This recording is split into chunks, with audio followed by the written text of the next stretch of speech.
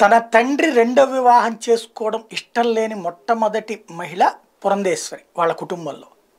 ఆమెతో పరిచయము పెళ్ళి వైపుకి వెళ్తోంది అని తెలిసినప్పుడే అడ్డుపడటం కానీ తీవ్ర ఆగ్రహావేశాలతో వ్యక్తం చేయడం కానీ చేసింది పురంధేశ్వరి.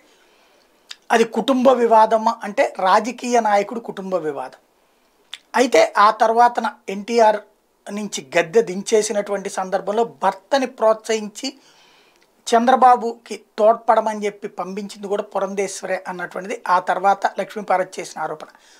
అలాంటి లక్ష్మీపార్వతిని ఇప్పుడు ఒక తన చేతిలో ఉన్న పవర్తో దెబ్బతీయగలిగింది పురంధేశ్వరి.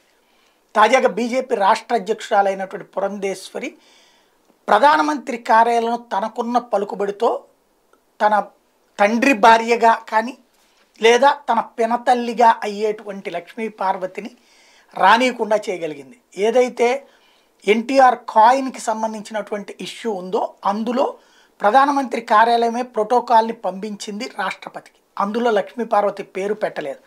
అంటే రా ఎన్టీ రామారావుకి భార్య ఉందన్నటువంటి సంగతి కూడా వాళ్ళకి తెలియదు కదా ప్రధానమంత్రి కార్యాలయానికి. ఈమె చలినీయలేదు వాళ్ళకి.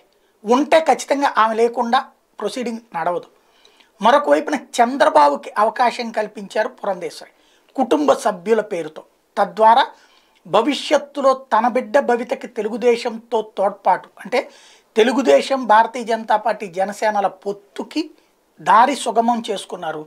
తద్వారా భవిష్యత్తులో రాజకీయ పరంగా తన కుటుంబానికి న్యాయం మరొక వైపున తన తండ్రి భార్యగా లేదా తన తల్లి స్థానంలోకి వచ్చినటువంటి మహిళకి దెబ్బ కొట్టడంలో మరొక మహిళగా పురంధేశ్వరి సక్సెస్ అయ్యారనాలా మంచా చెడ కాలం నిర్ణయిస్తుంది.